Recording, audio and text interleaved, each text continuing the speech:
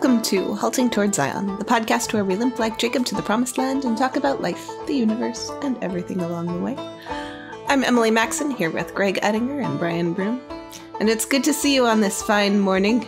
Uh, we usually do our recordings in weekday evenings. Weekday evenings. Coffee hasn't kicked in yet. But we're recording in a morning today, which is kind of fun. So we'll see if that changes the energy level of our conversation at all. But today we're talking about Ruth. Uh, we talked a little bit last week about the Christmassiness of Ruth, the love story, the biblical imagery, the foreshadowing, the orchestration of events to bring us the Messiah.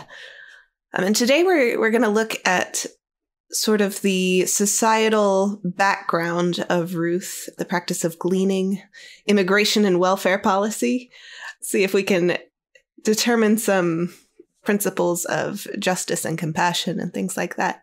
To borrow a phrase. To borrow a phrase, yeah. The, what does a compassionate society really look like? Isn't it where we just accept everybody and pay for whatever they want?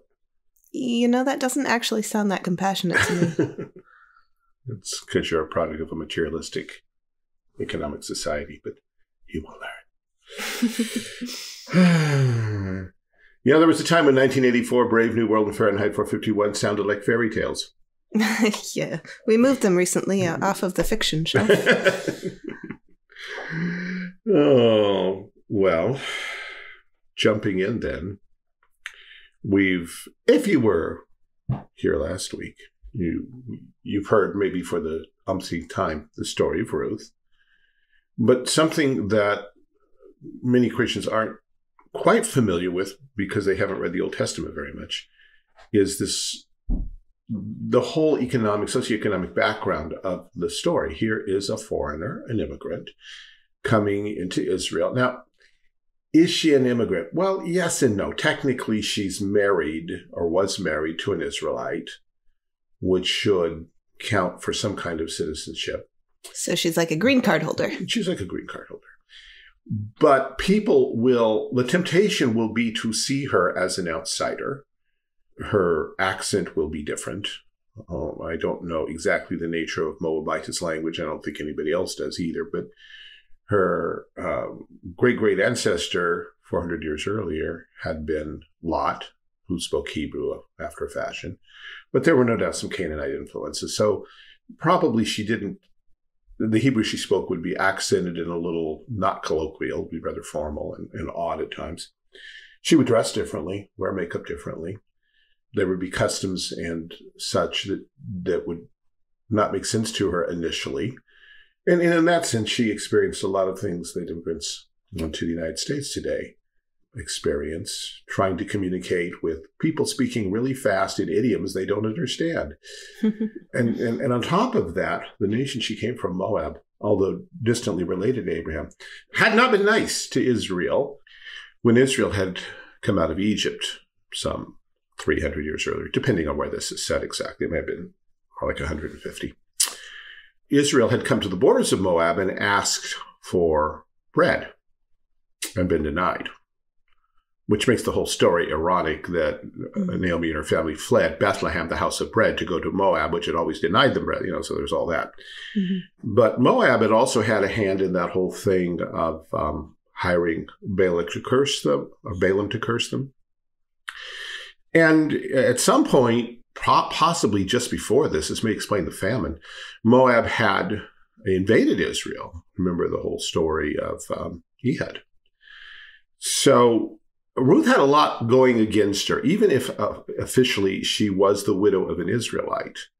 Perceptions could have been very, very negative here.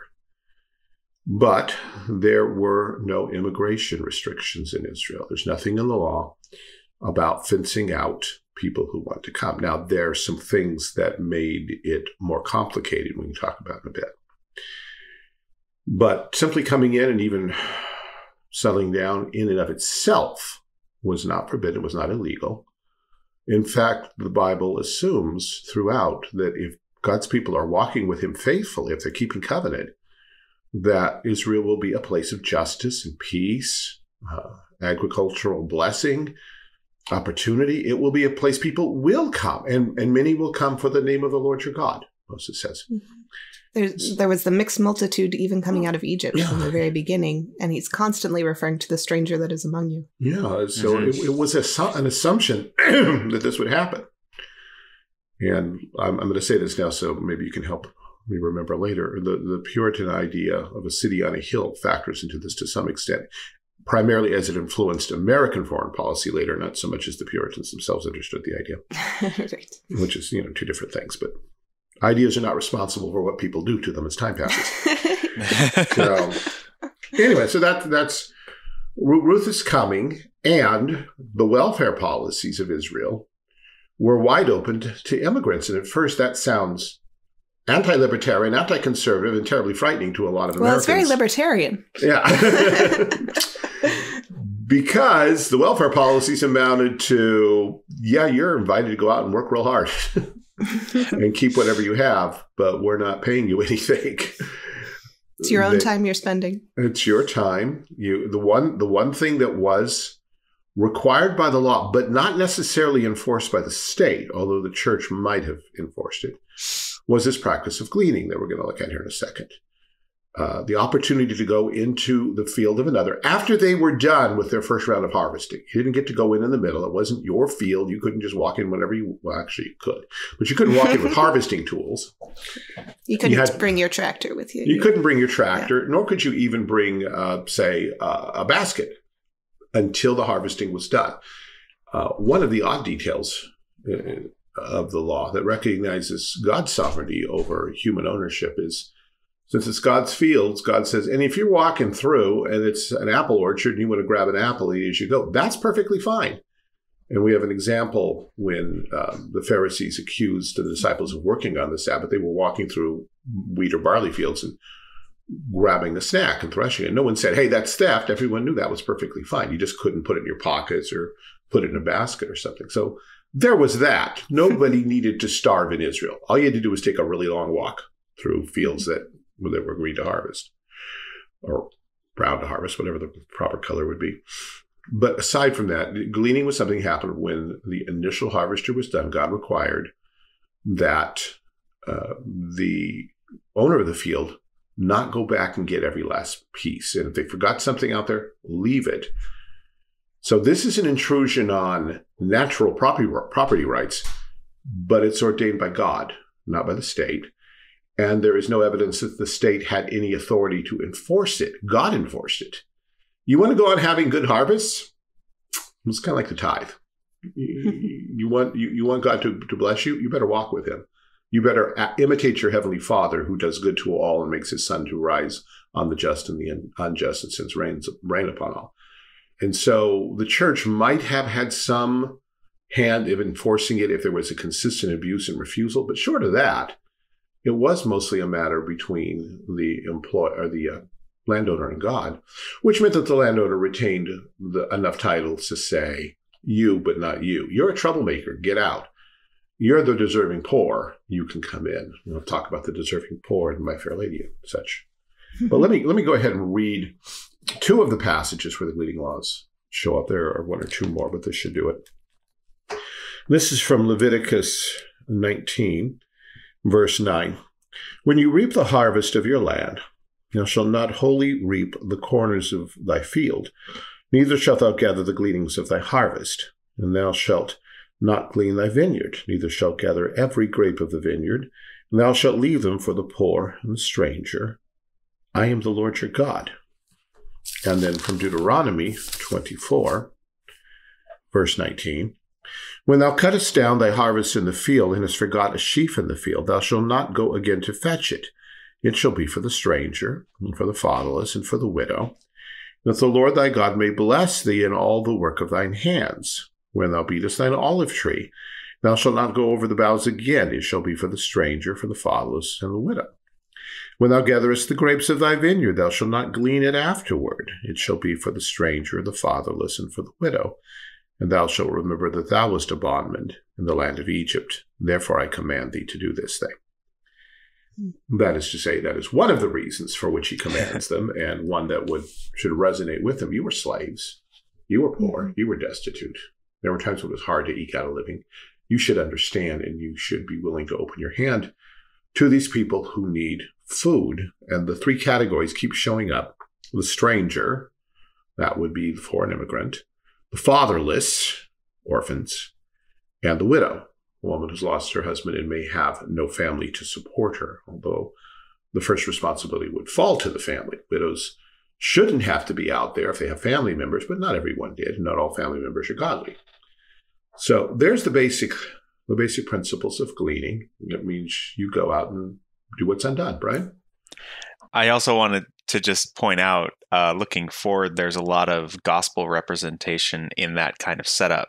Not mm-hmm. only for the believer, where uh, it's an expression of trusting God that He's going to bring enough provision that you will be able to provide for yourself and, and make a profit by selling what you what you um, I almost use the word glean uh, what you harvest mm-hmm. in the first pass yeah. without having can, to pick up every little last thing you're going to be okay yeah exactly God, the, God will provide for you enough mm-hmm. that you can also bless others by leaving behind the the, the rest um, but then also the the fact that it it's it's kind of pointing, I, I, think, in picture to the overflowing blessing that mm-hmm. the new covenant brings, where in picture form, it's basically saying, look, we bless people so much that the like it overflows into the destitute as well.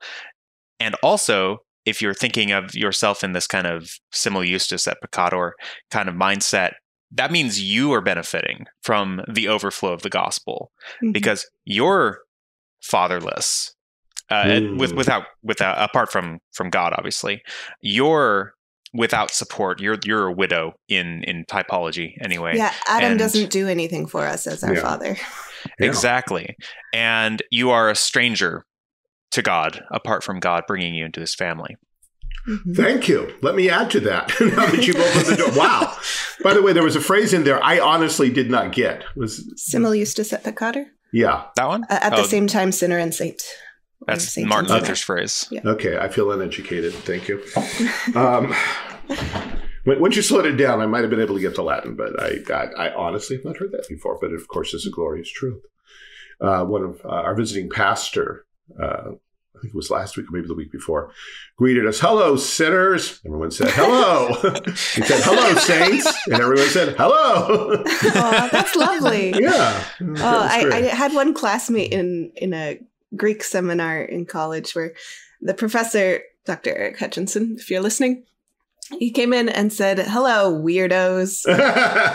and this student dropped the class immediately. like, okay, bye. oh, it was weird. On. We're all weird. All right. Anyway, let me let me take Brian's beautiful, wonderful, accurate analogy or or extrapolation from the text. Because the section I just read, you were bondmen. Well, let's consider what that means. Mm-hmm. We were in bondage to sin and death. And that's not something we're imposing on the text. That's something God draws out from one end of scripture to another. The land of Egypt, the house of bondage. I've delivered you. I redeemed you, the language of redemption. So, as those who have been redeemed from sin, brought out through the waters, even. Yes, we should be willing, joyfully willing to share, first of all, that very redemption with people, those overflowing gospel blessings. And and and in addition or at the same time because it's not truly an addition it's just an extension um, the the earthly blessings that attend kingdom life god everything brian just said god provides for us so abundantly on all levels both what we often call spiritual and that which we often call material but for the whole man that we should be more than willing to share those. And, and that's exactly what jesus is saying in the passage i alluded to earlier love your Love your enemy. Why? Because God does. Be like your heavenly Father. He's good. He was good to us when we were his enemies, when we were children of wrath, even as others. And so, this overflowing abundance should, this gospel abundance, let's keep the focus there. Not just mm-hmm. common grace, whatever that is, but this uh, this special grace overflowing through God's people into the surrounding culture uh, should move us to want to help people. Not because of common humanity exactly, although that's part of it, because we're all the image of God, but because we are beggars who have found food, telling other beggars how to find food. And if we're willing to do that, we can't, and we can't actually reach into our larder and pull out a real piece of bread and hand it to someone who's starving. There's nothing wrong with us. Yeah. See the book of James. Yeah, exactly. See the book of James. Be ye warmed and filled. Yes, Snoopy, be ye warmed and filled. Be of good cheer, Snoopy. Be of good cheer, Snoopy. Snoopy's still shuddering in the snow. It, it's easy to be like that, and we and we look at the, uh, and we're getting ahead of ourselves, but that's fine. Um, well, we, are getting ahead of ourselves by talking about the heart of the issue. Because if yeah. we start talking about immigration and welfare without talking about the gospel, we're going to end up in neoconservatism yeah, land. Yeah, or we'll end up having to let's, backtrack and fill. Let's not do that. Yeah, no, let's, not. Let, us not do that. So, um, no. On second thought, let's not go to neoconservatism land. It's a silly place. and that was wonderful. And in the process, I forgot exactly what I was going to say next. But we're talking about um, I mentioned our common humanity. We're, we're all made in the image of God. And because uh, the, the figure that we use, and I just mentioned it, the gospel or the evangelism is beggars telling other beggars where to find food. And that has to be key for us. There needs to be at the heart of, of, of a Christian welfare theology, the gospel itself if we don't start with the gospel, we end off we end up off track into some kind of conservative or libertarian plan for the economy ideology. I, yeah, and and then we would have to try to backtrack it and undo it. So it, it is it is good, and again, I really appreciate Brian that you brought that up when you did because it's not in the original original notes I made. Uh, shame on me because now I'm tempted to go back and rewrite them. uh, it, it is basic that we are talking about God's goodness to us in the gospel, as it ought to overflow to those about us. And the, the temptation here, as elsewhere, is when God says, Do this and I will bless you. Oh, do this and live. No, that's not what it means. context, context, context. Uh, the context is God's overwhelming grace to Israel. You know, be like your Father in heaven, what Jesus tells us. Sermon on the Mount is not law in that sense. It is the it is kingdom life for those who are already Jesus disciples. It is what it means to be in that circle of blessing. If you are blessed of God, if the Holy Spirit is at work in you, you will want to imitate your Father, and these are the kind of things you will be doing. So when Israel was at her best, when God was at work, when she was faithfully following her Lord, when she was believing the promise of Messiah, Israel would be a wonderful place to live for anybody. And thus, the immigration and thus the gleaning laws, a very practical way for landowners, uh, farmers, to say, God has been good to me, come and share the bounty. Uh, and again, an echo, an extension of gospel living. But with this, there's still the there, there's still the thou shalt not steal, and the, and the very principle of stewardship. The farmer owns under God the land, and he's responsible to see that it's not abused and the people working on it are not abused. So you have the troublemaker who comes in and tries to, to harass the ladies who are working or tries to grab their stuff. No, you kick him out. Mm-hmm. There's, there's, in that sense, and I think maybe this is where I was trying to go earlier. Um, the New Testament requires if, if one will not work, neither shall he eat. That's the basic principle, and but it is easy in our uh, we what we pretend is godly materialism, covenant living, do this and live. Okay, well that says that there's this guy in the street. He's obviously not working. I should not give him anything ever. And if you do, you're an idiot. You're only perpetuating his uh, his poor work ethic. That, that's not what that's saying. No. It's saying you should you should not put him on permanent welfare in your church and and require nothing of him. It doesn't mean that you can't take a water bottle and hand it to the guy who's standing out there sweating to death and say, "Here, have this," or even reach over the what's left of your hamburger from McDonald's and say, "Not very nutritious, but maybe you'll like it." There's there's nothing in Scripture that forbids those kind of things. I I, I know people who, you know, that guy is just faking it. Well, he may well be, but you know, I don't know that, and God's not going to curse me because I was generous how many how how generous is God to people who he knows actively hate him? And yet he keeps doing good things for them, for Jesus' sake, for the broader um, growth and spread of the kingdom and its its effects beyond the moment. So as we look at this, the farmer has to consider these kind of things. Uh, I need I need my land to be safe when people are gleaning. So some people can't come. Some, but some questionable people I may let in if I can keep an eye on them because you know I got a soft spot. God's convicting me about this or whatever. It, it's easy to turn it into a bureaucratic checklist kind of mentality where once you've once you've checked all the boxes and met all the the qualifications, then you can go in, then you can do this, then we'll weigh it on the way out to make sure you have your fair share. And and, and eventually it turns into you've done the boxes, you've done the checking, okay, go with whatever. He drives out a truck or two because we forgot something in our regulations and they get abused and so this the thing about gleaning is it is done right, it is inevitably personal. It's the farmer's land. He's not going to want just anybody on it he's going to want to know what's going on there because it is his stewardship. It is his responsibility. So that's some of what goes in here. It is not a government run or state run welfare system. It is, in some sense, a free choice of those who have uh, farmlands. Uh, the farmer is not freed from all responsibility. In fact, it become he, he's forced to a greater responsibility because it is his land. He's he is responsible for what happens. So he's got to keep an eye on who comes in and who goes out, who he doesn't let in. He needs to know names. He needs to know background. And, and I've just been through the uh, formal uh, elders at the gate checking point. See my card? It's green and clear.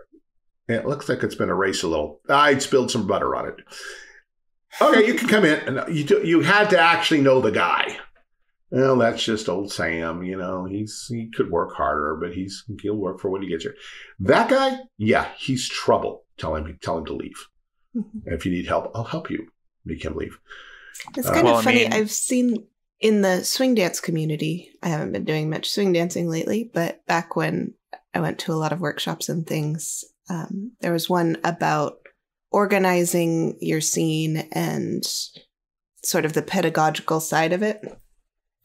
And one of the points is this is a social thing. You will have people there who are there to be creepy. Part of your job as running the scene is to boot the creeper out of the place. Yeah. And it's just, it's kind of ironic to me because a lot of the people who are, I guess you would say, high up in the swing dance world are very leftist. Mm. Um, so they see the necessity of booting the creeper from their own scene where they have people to protect um, but they don't necessarily see the necessity of it on the level of who's allowed in our community as a whole. Mm-hmm. It's just kind of ironic. Also, yeah. when you take this form of welfare and basically turn it into a landowner directed way of doing things, you also avoid the propensity of governmental oversight. Mm-hmm. Um, if if it's basically the principle that the the closer to home things are being run, the less likely there is for abuse, oversight, um, misappropriation of funds, mm-hmm. etc. Uh, and in that case, in that sense, limited sense of the word, it's a very libertarian type of setup for welfare, where you know you still have the social pressure more or yeah. less of a of a society that's like uh, Jim's not letting people glean from his fields. He's kind of a jerk. Yeah, you know. Um, and and your pastor may come and talk to you about that. You know, this mm-hmm. this is what God yeah. did for Israel. You need to remember this.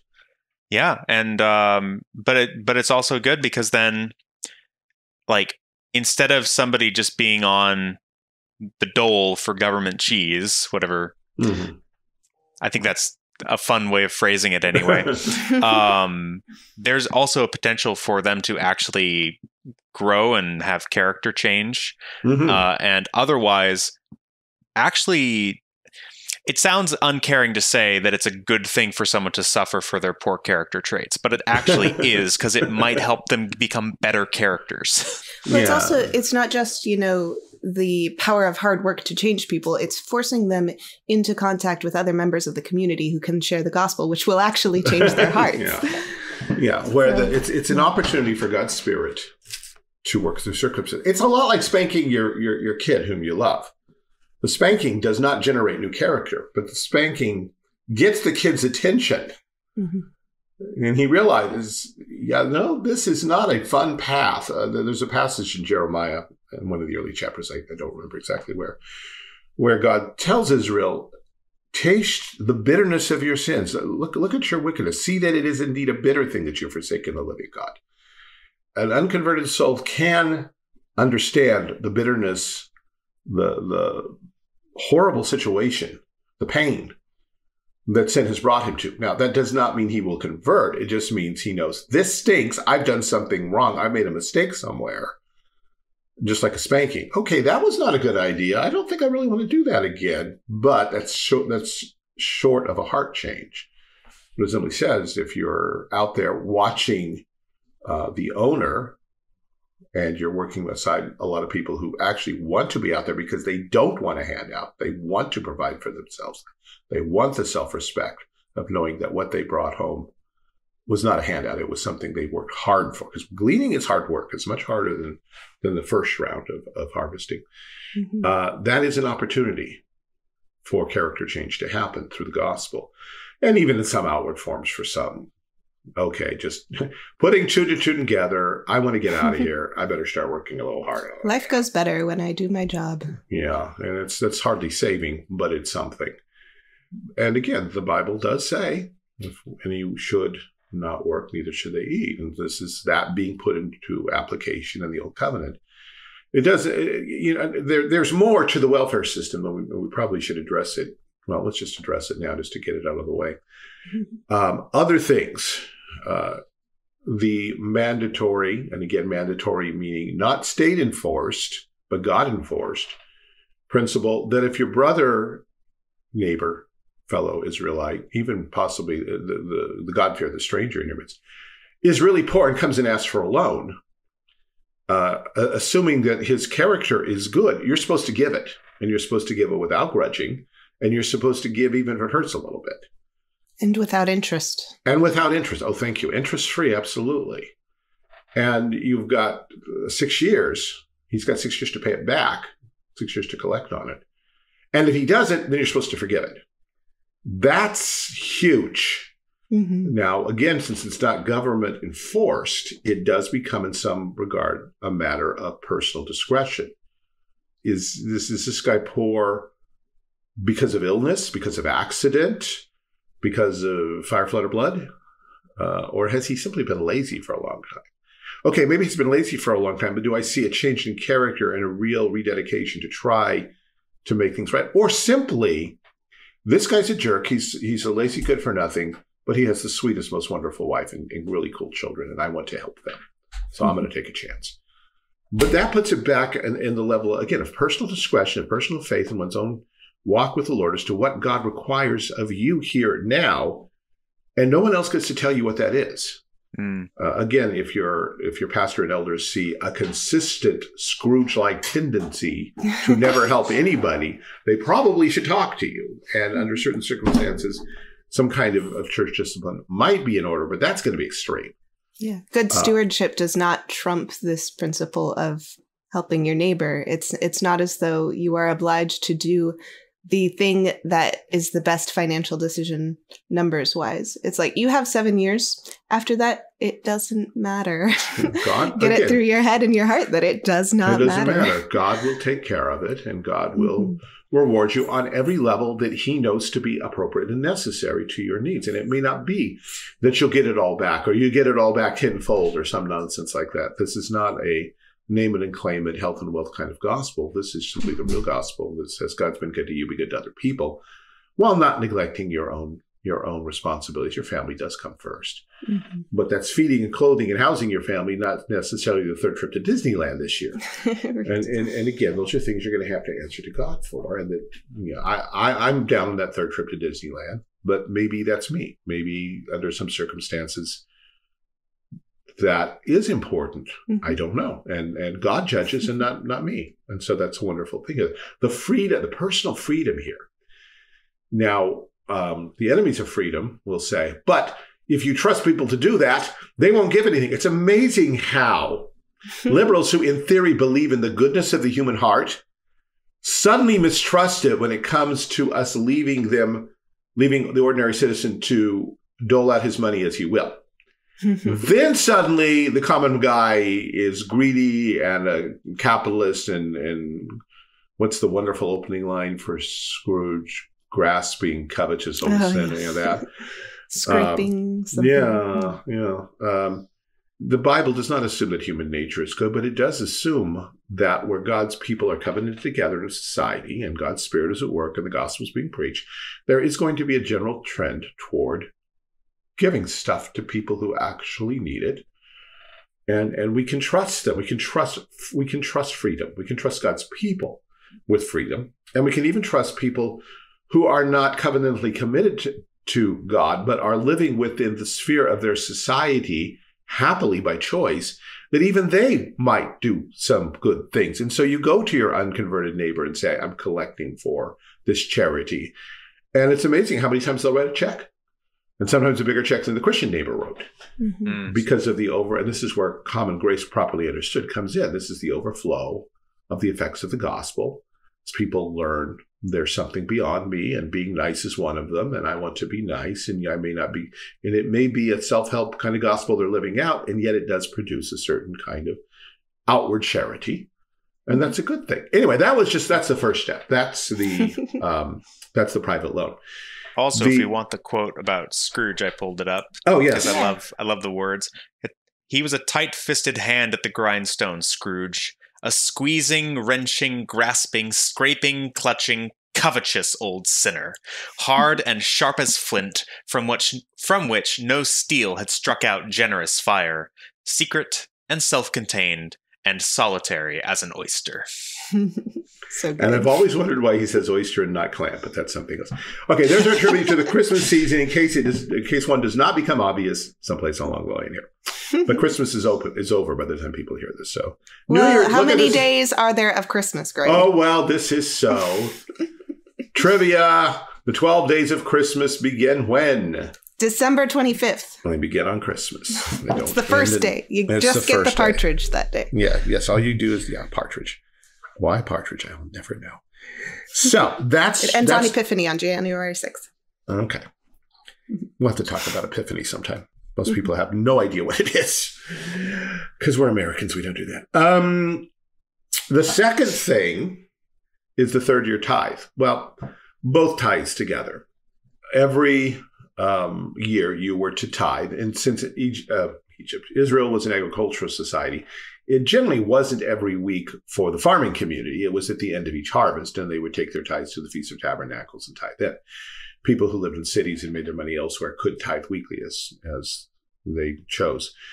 Um, under the new covenant, Paul recommends laying aside every week as God has prospered, but doesn't set down a lot of tight regulations for how that works exactly.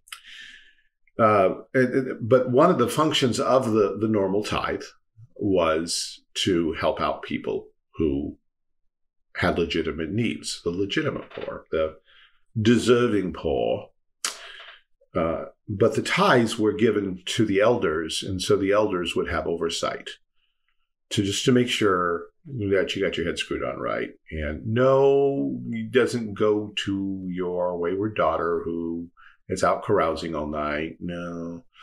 Okay, yeah, them you don't like him much, but you know what? God's working in him. We think we, we would like to be able to help him. And so you have advice and oversight from your elders, one direction or another. It is uh, interesting. Sorry, this is a little bit of a side note, but mm-hmm. as you mentioned, Paul kind of shifts the focus to weekly, but then Paul is talking mostly to the Christians in particular cities. In particular cities. Rather yes. than people in the country, which ties into this whole theme of beginning in the garden and ending in the city. Yeah. And we'll yeah. thank you for bringing. Thank you for complicating it yet again. There's more yep, here than I welcome. realized going in. So remember to get us back on that because we do have to talk about how this is this is a uh, the gleaning laws applied to the agricultural districts. They didn't apply to the city. Anyway, um, so there was that. But every third year, and, and, and this can be taken a number of ways, and I don't have a firm position. You can do what you want with it. In some fashion, either as a separate tithe or as a distinct use of the tithe in the third year, the tithe was dedicated to the poor, which meant that every third year, the deserving poor would get a shot in the arm. They get a windfall. It wasn't every year, though, which meant that you you you get this you, you get a, a fairly large sum of money one assumes but it's this year. Now we need forward thinking. We need future orientation. There are possibilities here. If i am literally incapable of working and there's nothing i can do you know with just my hands and my mind i can't my body won't work but i, I can't do, i really can't do anything then I need to parcel out that money over the course of three years. And that's going to take some planning and some self restraint, self control. I can't go out and binge it all, you know, buy a new TV and a new car, and then suddenly I have nothing for the next three years. On the other hand, if I am able to work and my poverty is not because of some debilitating illness or accident, but it's because of some temporary setback, I can now say, okay, three years, I can use this as capital and I can begin investing it in some kind of family business, something by some tools, by something with which I can earn more money. And again, the, the, the, temptation will be, wow, I got a lot of money from the government. I got a stimulus check. I can just spend it all right now and stimulate the economy and do good to all people. No, that's not, this is not how this is supposed to work. So there is a call here again to future orientation, hard work, planning and thinking, maturity, as so much of this is, because next year you're not going to get that special handout. So you have to think ahead. And of course, the basic charity in all of this that I skipped over is that of family. Paul says that if a man provide not for, or actually, it's not even masculine, if anyone will uh, not provide for his own. He's denied the faith and is worse than an infidel. And in the context there, it's actually talking about grandchildren uh, taking care of the grandparents, mm. although the application is much broader, of course. Um, but it's basically, if they're widows, let their family take care of it. They have sons or grandsons, nephews, the King James says. Um, that charity begins at home, most literally. It is, if they are church members, you are to require it of them. And that goes first. And then the church, and then the final step in the new covenant, the church takes up for those who are widows indeed, Paul calls them. And he has a detailed list of virtues and, and, and track history that these widows have to conform to. They have to have served God. They have to have been full of good works and hospitality. Uh, they have to be seeking God with prayers. Um, and then the church can, in such extreme cases where there is absolutely no one else to take care of them, the church can put them on the roll. There was an office or status of widow in the church where the church paid everything. Um, but Paul's very sets sets some hard restraints on it, like an age restraint and the admonition that if you can't get married, get married. This is this is for those who are truly, truly destitute.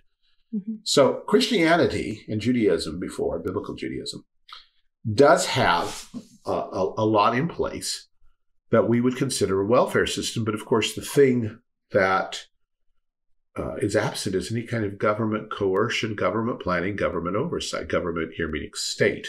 There's mm-hmm. family government, church government is involved to some extent, but the first line is self government, stewardship of one's own property, and then the broader concept of family government, where you take care of your own and then you share what your family has earned with those who are in, in true need. Paul sums up uh, the commandment, thou shalt not steal, is let him that stole steal no more, but rather let him labor with his hands the thing that is good that he may have to him to give to him that needeth. So thou shalt not steal, according to Paul, means one, stop stealing. that would be the obvious part. be, and we often stop there, but stop stealing, work hard with your hands and your mind, whatever else. And then so that you may have, and when I'm, I'm teaching this, often students will miss that part. They'll jump to, so you can give it to, them. there's something in between there. You have to have it. You have to have not blown it all on wine, women, and song or whatever, or your favorite hobby. Or uh, buying your parents a house. Yeah. You, know? you, know, like you can't just. You, yeah. It's not there just to spend and make comfortable people more comfortable, including yourself. Right. It is there in part to share with people who need it. And and again, oftentimes our liberal friends are correct in their criticism of people who adopt a capitalist mentality. Mm-hmm. Now, I'm distinguishing a capitalist mentality as we know it from capitalism. Capitalism is an economic system. Of course, it does not, does not provide for the poor. It is a description of how the market works. right. Providing for the poor is not part of the market as such. It takes the gospel to move people to provide for the poor. So trying to stretch capitalism to be a religion is a mistake of mm-hmm. huge proportions, as is stretching socialism to be a religion, but that kind of comes with the territory.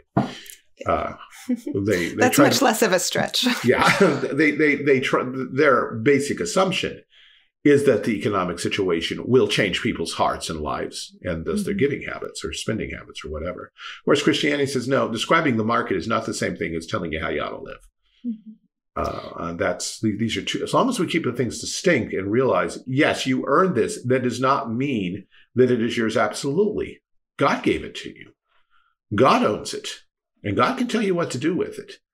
And, and that, until you go ahead, um, that future orientation applies here also. So it's not just to those who are in need and have to budget the the pennies that they have.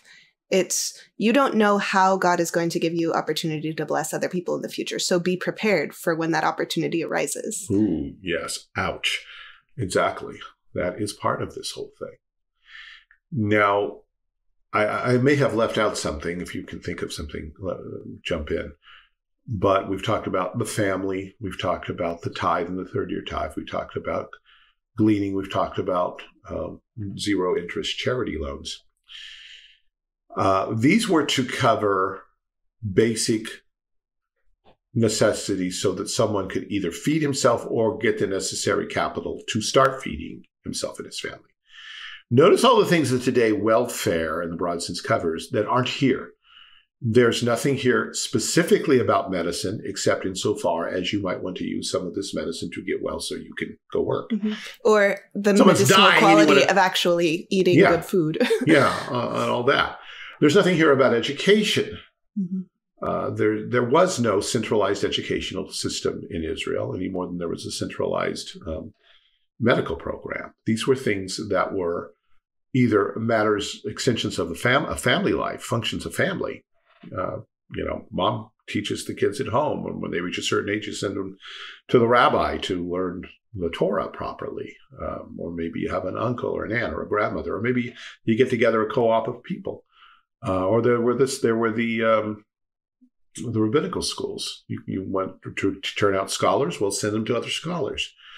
So there there were all kinds of choices, but they were all free market. And so our libertarian friends should applaud that one. and the same thing with medicine.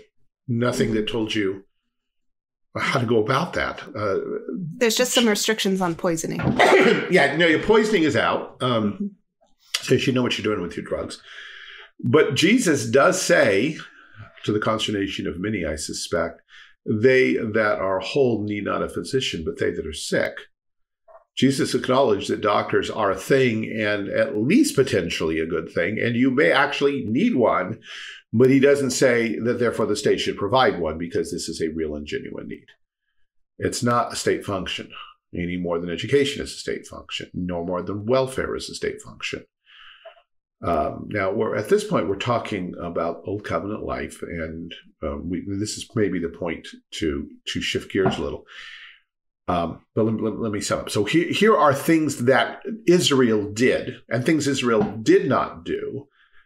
And the underlying principles of it's all God's stuff. God should work in you a willing heart. Therefore, you should prepare to be willing and to give wisely. Uh, if you are in, in poverty, you should be willing to receive responsibly and plan ahead and try not to stay in poverty. You should try to pay off loans and such. And you should be willing and, and, and desirous of working rather than, rather than receiving handouts if you can. And the Bible recognizes that sometimes you can't. And begging was a legitimate thing uh, in Israel, but generally beggars would be known to the elders of the gates and they would i don't know if there was an official license i think there was by jesus time but we're not told how that worked because again, small communities, people would know, the elders would know. Yeah, that's Sam. He could work just fine. He just he has a bad back every Thursday. You know, um, it's funny that of I think all the beggars that I can think of in the New Testament, they were mostly they couldn't walk. Yeah. Yeah. yeah. They yeah, weren't we're just there because they had nothing to do. Yeah, we're not told about Lazarus specifically, but I think given Abraham's appraisal of him, we can assume that he was physically incapable of caring for himself. So even begging can be a thing. Put again, like as the church put widows on its rolls mm-hmm. and paid completely for them. You got a godly beggar who really honestly can't do anything. He's going to still ask to be in church synagogue every every Sabbath day. People are going to arrange for people, and the church is going to arrange to get him there. So you know this guy, and you know his needs are legitimate. Again, we're back on personal knowledge, personal responsibility, and so those are things that carry over pretty easily. However, as we said, gleaning is something that worked in the agricultural parts of Israel. It didn't work in the cities, nor is there any requirement for the cities to find some form of imitation, although it's possible. When goodwill originally started out in American society, the goal, and I don't know to what degree it still does this, but the goal was go collect people's cast offs and let disabled people work on them and repair them so they would they would actually be working. You were you were gleaning off people's stuff and people would actually work and out of that would come both money for themselves and money to perpetuate the program.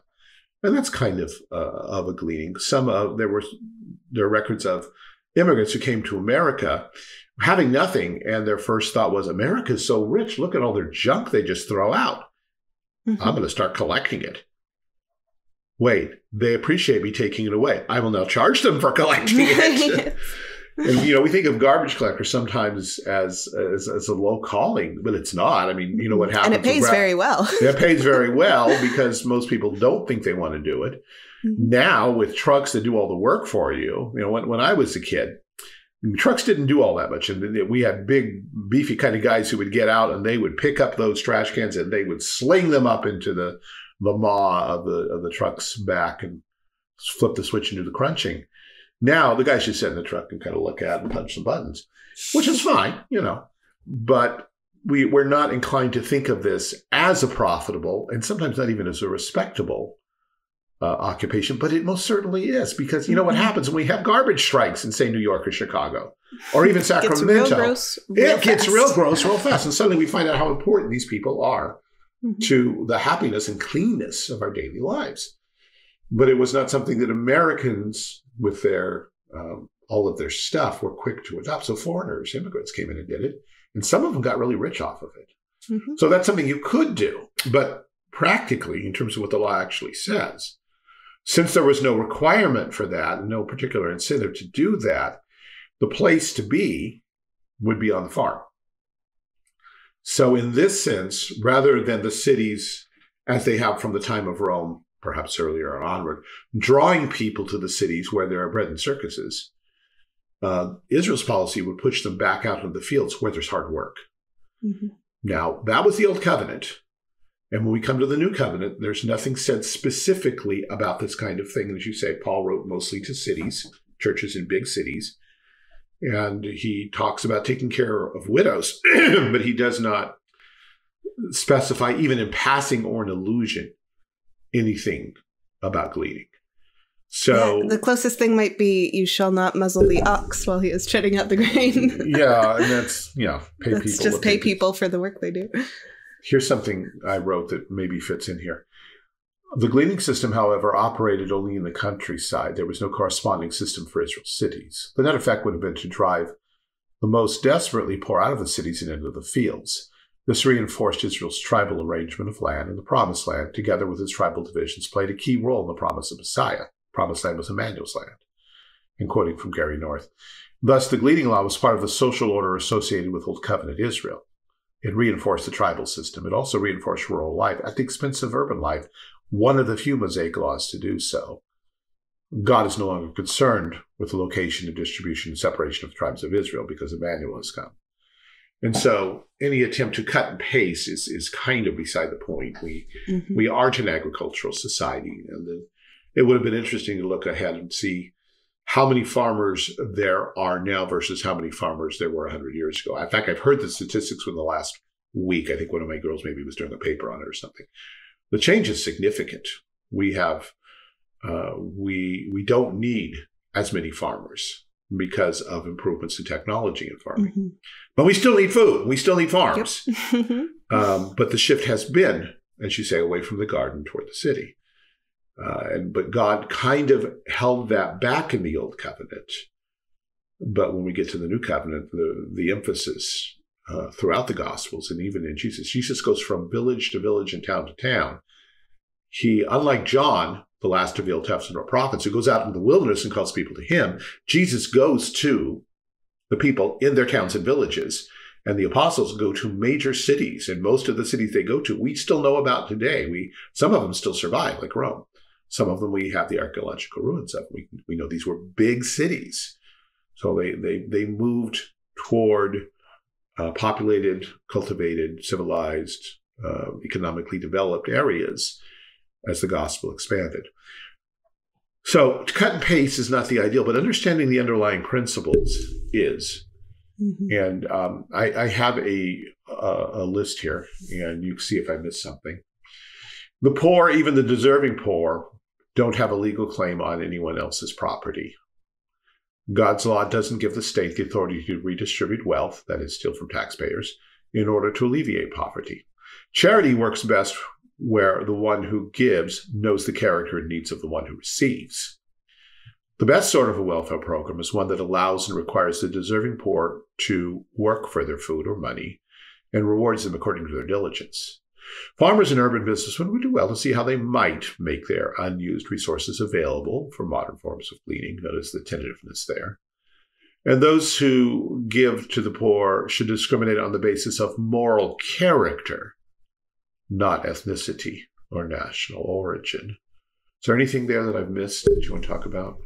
I had thoughts as you were going through them, but I don't think they are as central principles. they were just sort of commentary. So, well, that's all right. But I, I, I've said the phrase "deserving poor." I need to. We need to talk about deserving poor, especially yeah. since My Fair Lady gives an entire section to it. we um, are running out of time, however. Do okay, you want well, to I'll, stretch this into another episode, or no? This this should go fast. Deserving poor means people who want to work and who have mm-hmm. real needs, not people who don't want to work and want a lot of drugs and alcohol and uh, Eliza's father in My Fair Lady complains, I'm the undeserving poor, but I still have the same needs and wants as everyone else. yeah, well, you're dealing with a God who has a, sta- has a sense of a standard nature of holiness and justice.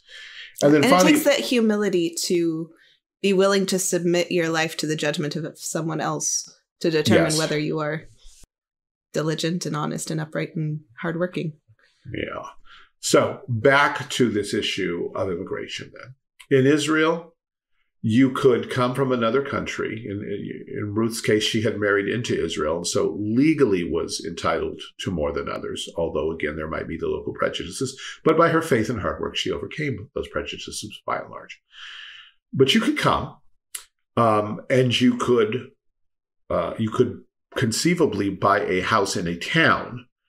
You could certainly rent one. You could you could rent and lease property out in the fields, but because of the Jubilee laws, you could not buy land. Uh, you could buy it for a time, which we would call leasing, but in the Jubilee, it would it would revert. Uh, you could become an Israelite by circumcision, attending the three feasts, three required feasts, and by uh, pledging to fight in the militia as needed. With a couple of exceptions, Edomites and Egyptians took thir- three generations before they were allowed to hold office, what we would call hold office or exercise governmental functions, vote in Israel, because there's a recognition here that culture matters. And that you just because you're here doesn't mean you get the nature, the culture of this covenanted society. So just as the church does not ordain novices and does not even necessarily ordain somebody who came to Christ late in life and is trying to figure it all out, we, we wait and ordain those who have shown themselves mature in the faith and, and settled and not given to weirdness. Uh, the Bible seems to say it's okay to do that kind of thing politically too. You, you you've got a culture. The United States does this to a limited extent. We expect mm-hmm. new immigrants to go through citizenship classes, and and and some many come out understanding American history and culture far better, at least they used to, far better than the products of our public school system. Right. You can think of Twelve Angry Men and the uh, the uh, apparently he's a Czech. He sounds Italian uh, immigrant who talks about the, the, the glories of being able to be on a jury and all mm-hmm. that. So you you there were many things you could do if you were adopted into a tribe. Then you could own land because you might inherit it as part of the tribal system or at the jubilee. So there were restrictions on what coming in meant. You could be there, a God-fearer and a foreigner, a stranger, recognized as such, and do business and profit and grow rich and be protected by the equal laws that governed Israel without ever actually becoming someone who could, what we would call, vote or hold office. But those were possibilities open to you, if not in your generation, then perhaps three generations later. Uh, there's assumption that everyone understands what it means to be in Israel versus out of Israel. This right. is not an absence of borders. There's a right. very clear definition of who's in and who's not. Oh, absolutely. The Promised mm-hmm. Land had very distinct borders. Yeah. And Israel was was authorized to defend her borders mm-hmm. from outside assailants, including roving bandits and such. But anybody could come across and trade and leave. Um, anyone could come across and stay if they could find a place to stay, but they were required to submit to the laws. They didn't get to do whatever they wanted. Uh, and exile was a possibility if you if you violated Israel's laws. But by coming, you did not get government welfare, you did not get government education, you did not get government health policies. You had to work, but you had the freedom to do it. Yeah. So this this is what we can hold up at least as the beginnings of a model for immigration and welfare in these United States. Uh, we're not anywhere near ready to do it, but as showing people, yes, the libertarians have some right ideas. The liberals have some compassionate compassion or something, or they think they do, but some of them really do, you know. Mm-hmm. But but simply feeling compassion is not the same thing as doing the compassionate thing. The tender mercies of the wicked are cruel. And so we have to consider what God considers to be merciful. And some kinds, sometimes that means working really hard and sweating and doing it. and without, enforcing justice. And enforcing justice. Yeah. Well, it's difficult to stop there, but we have to stop sometime. So, do we hmm. have any recommendations to wrap up? I have well, one. I can go first go if you want. All right. I'm going to recommend an app called You Need a Budget, YNAB. Ah. One of the things I do on the side is financial coaching, which is not telling people which investments to buy or anything like that. It's just walking alongside people and helping them figure out their budget and their goals and how that works. And my favorite tool for this, they don't pay me. I kind of wish they would because I really am a fan. But, uh, my favorite tool is the app You Need a Budget. Um, it's great, especially if you are married and need a convenient way to communicate about money with your spouse. Um, because it's electronic, you can each have access to where dollars are. And one of the best strengths of this app is that it's not retrospective, like, say, Mint, which is not my favorite app by a long shot but it's very popular. But the, the idea of Mint is, oh, you can look back and see where all of your money went. And hmm. YNAB is much more about telling your money where to go. it's putting dollars that you already have into categories um, so that you can be working towards your goals. So I really recommend nice. YNAB. It's not free. It's like, I think it works out to something like $5 a month, but we've found it very worth it in our family. Uh, e. Calvin Beisner, years ago now, although he's updated it, wrote a book called Prosperity and Poverty The Compassionate Use of Resources in a World of Scarcity.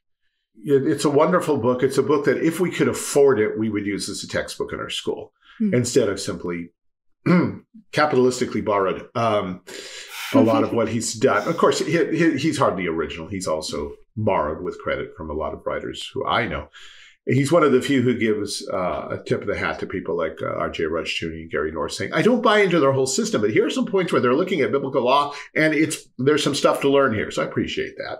Mm-hmm. Uh, but it's it compassionate use of resources. He's he understands it's not all about how I get to keep my money and you don't get any of it, but how God blesses us so that we can bless others. And it's it's written, I would say, at about a college level um, although some of my students have been able to wrestle with it and profit from it. And he has written a number of other books uh, along these lines that you may find a blessing. He's a professor at uh, Covenant College. Um, I'm going to go ahead and take a left turn from bo- both of those genres of recommendations and recommend politically a, left or? No. A, uh, recommend a youtube channel uh, that talks about it, it, it's a cooking channel basically. Oh, this yeah. uh, guy named Ethan Chlebowski which it'll be in the show notes. I don't feel like spelling it right now. Uh, but it is it actually is c-h-l-e-b-o-w-s-k-i i. Ended up binging Whoa. a bunch of his episodes this week because i had free time and i was very excited to do some of the things he suggests regarding meal planning and uh, also just very fun kinds of recipes like um, braised short ribs as a weeknight reheated meal Hmm. and um, pierogies um, Mm. from scratch. So, uh, if, for those who don't know, pierogies are, uh, I think, Polish versions of dumplings. So they're Oh, delicious, like all dumplings are. So uh, that's my recommendation. Uh, he also gives like really basic nutrition breakdowns of like the nutrients and and um, uh, stats for so like carbohydrates and and fats and all that kind of stuff that goes onto a nutrition label when you buy it in the store, but you can't do that when you're making it yourself. Hmm, yeah. uh, in particular, uh, one recipe that I'm excited to try is uh, risotto style pasta, where Hmm. uh, you just cook the pasta in a wok with a small amount of water and let the water absorb all the starch and reduce down into a sauce that you can then, well, a base for a sauce, basically. And then uh, add cheese and meat and vegetables and stuff and basically work it into something very. Yes, that was my exact reaction watching the video, Greg. I haven't had breakfast, and now I am suddenly so hungry. okay. yeah, that sounds great. well, let's all stop and have a snack. Sounds good. Thank you guys so much for this conversation. It's been a delight. Thanks also to David, our producer, and my lovely wedded husband. Thank you to our financial supporters. We appreciate you keeping the show rolling. If you'd like to join their number, you can visit our website, anchor.fm slash halting towards Zion. Uh, please send us an email with any questions, comments, bouquets, brickbats. Uh, you can reach us at haltingtowardszion at gmail.com. Subscribe on YouTube, Rumble. We have a Facebook page. Talk to us. We'd love to hear from you. See you next week.